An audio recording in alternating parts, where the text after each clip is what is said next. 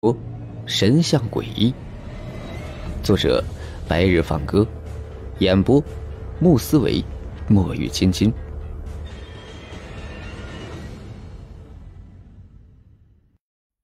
两千零八十七集，七八分钟后，张凡几人便到了赵大宝的家里。赵大宝老婆正在做着饭，他做的是宴席类的饭菜，没有一个小时是做不好的。张凡冲赵大宝说道：“别让你老婆这么麻烦做这样的菜了，我看他已经做好两个凉菜了，再给我们下点面条就好了。”“哎，没事我老婆做饭很快的，一会儿就能做完。”“这个，我们实在是饿得厉害了，等不了了。”“那好，我让我老婆马上煮面条，几位先吃凉菜啊。”见张凡这么说，赵大宝立刻便做了一个请的手势。张凡点点头，而后坐在桌子旁边吃起凉菜来。七八分钟后，热气腾腾的面条便上了桌子，张凡三人大快朵颐的吃起来。凡哥，在井下的时候，咱们应该询问一下那个大妖是怎么把聚元液从银色液体里面给分离出来的。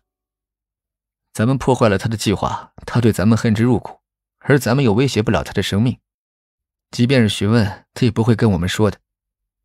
对，我赞同张大师的观点。”李莲英说道，“那家伙高傲得很，现在咱们没有刀架在他的脖子上，他不可能跟咱们说的。”呃，那好吧。”黄青云轻叹了一声，“咱们短时间内恐怕不可能把这聚元液从银色液体里面分离出来，毕竟李莲英用了二十多年，也没能找到分离银色液体的办法呀。”这也不一定，老李没有找到办法，是因为这银色液体从来没有在他的手里面待过，他也一直没有机会可以好好研究一下这个银色液体。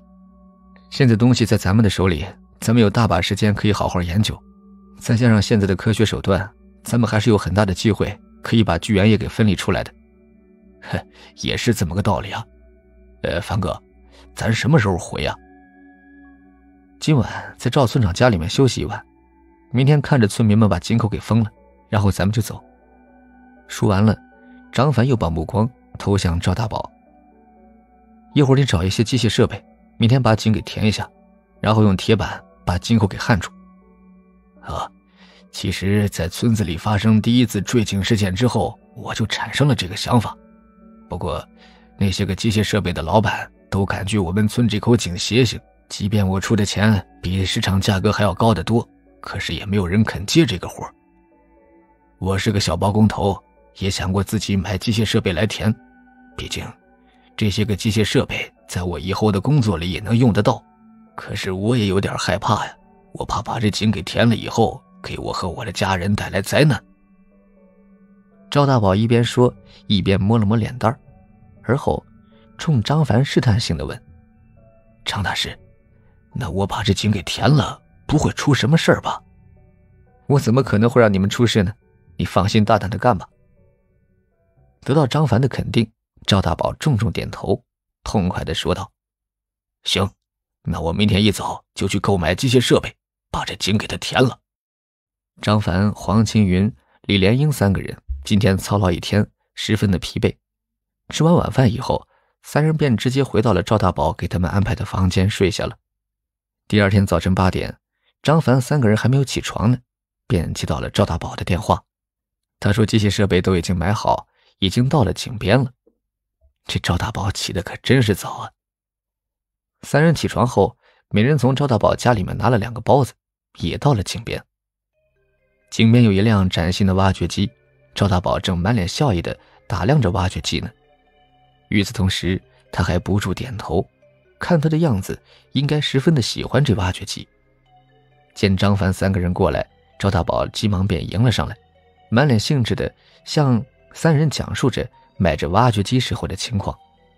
张凡三人都不失礼貌的称赞两句：“这本来是一个垃圾山，你就把这些个垃圾全都填进井里面好了，这也算是废物利用了。”张凡说着，打量了一下四周：“哎，我也是这么想的。”赵大宝笑了笑，而后便开始。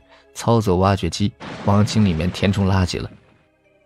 也就是一个小时的时间，那口井便被垃圾给填满。他早就准备好了厚重的钢板，直接便使用焊接设备把那钢板死死地焊在了井口上。赵村长，这事儿就算是告一段落了，那我们就不再逗留了。张大师，这事儿耽误了你们这么长时间，我代表我们全体村民感谢两位。赵大宝满脸真挚，一边说着，一边朝着张凡和黄青云深深的鞠了一躬。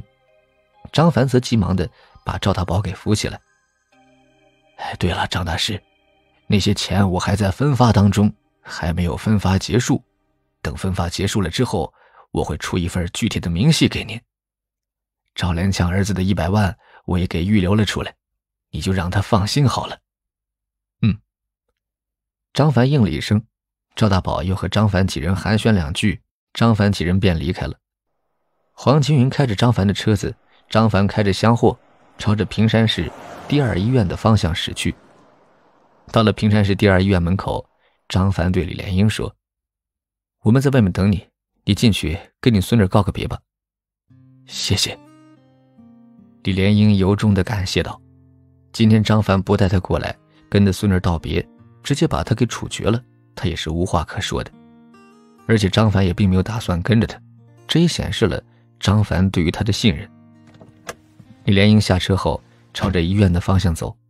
张凡则从布包里掏出一个小瓷瓶来，把小瓷瓶微微倾斜，银色的液体滴落在了手心里。